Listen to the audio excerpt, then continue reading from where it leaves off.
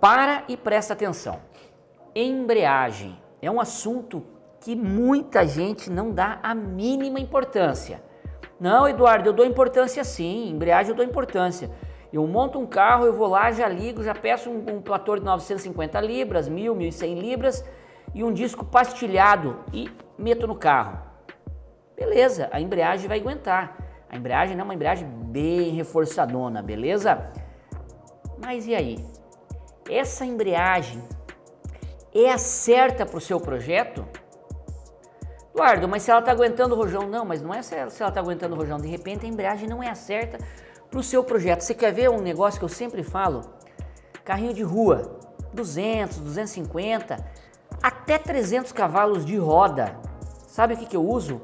Pla normalmente platô original e o disco aí sim de, matéria, de material sinterizado ou de carbono. A gente já vai mostrar a diferença deles para vocês. Ah, Eduardo, mas não, não fica a embreagem, não fica um pouco suscetível a dar uma patinadinha?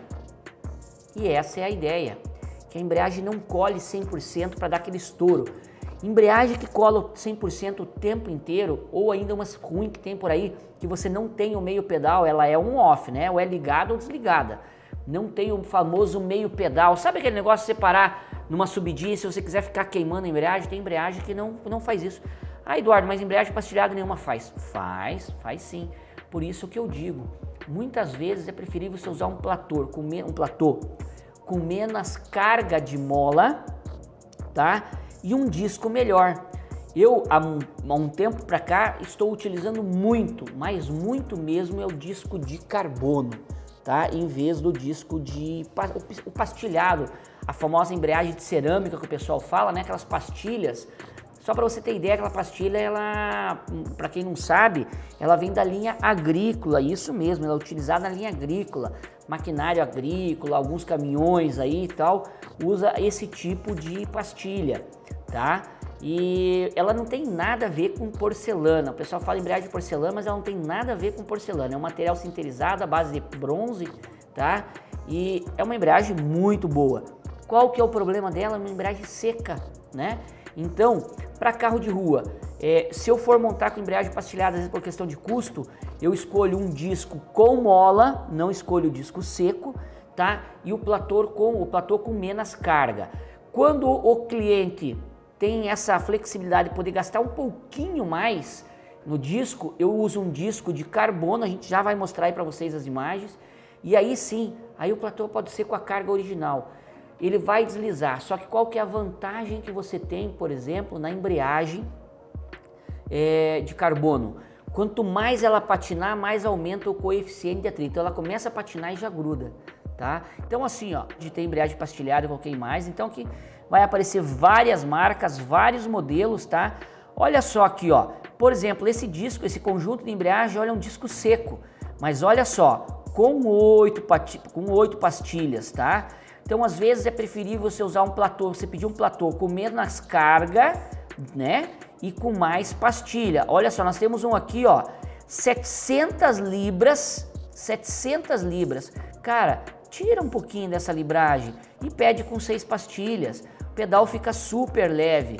Olha aqui, ó, seis pastilhas e 980 libras de carga. É muita carga, na minha opinião eu usaria um pouco menos de carga. Lógico, estamos falando de um carro de 300 cavalos, 250, tá?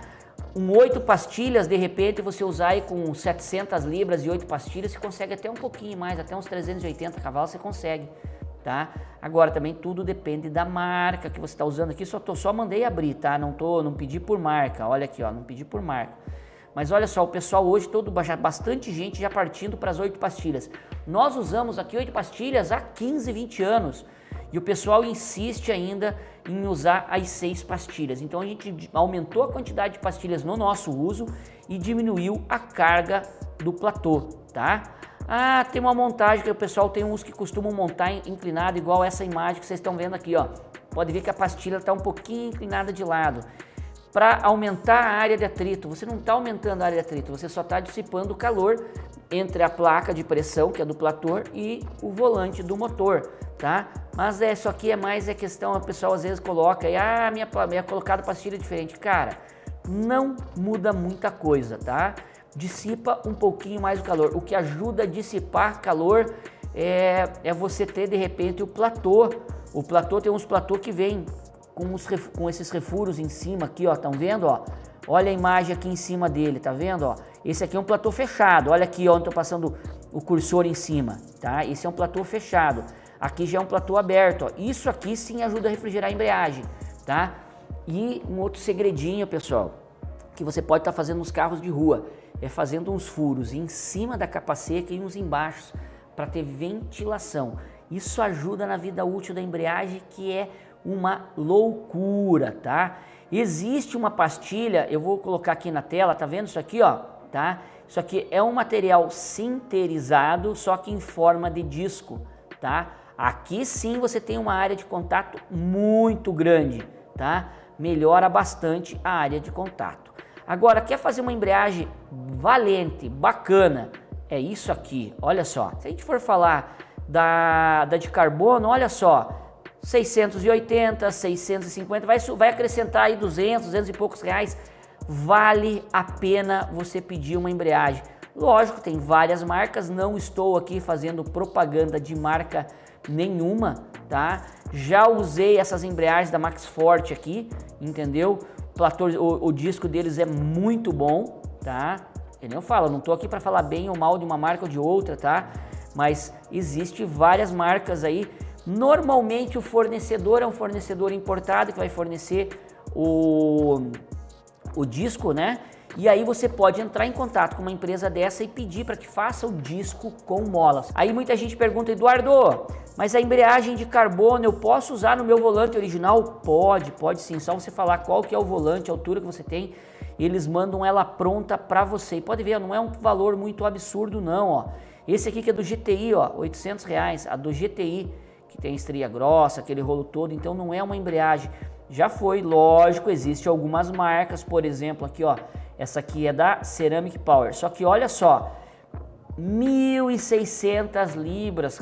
Gente, isso aqui é muita pancada de libragem. Eu, eu sou sincero, isso aqui é para virar quebradeira, na minha opinião, tá? Eu preferia você estar tá usando aqui um, um uma carga aí de 800 libras, 900 libras, vai dar uma patinadinha e vai grudar, porque o coeficiente de atrito é muito superior quando a gente está falando aqui de, de embreagem de carbono em relação à embreagem pastilhada.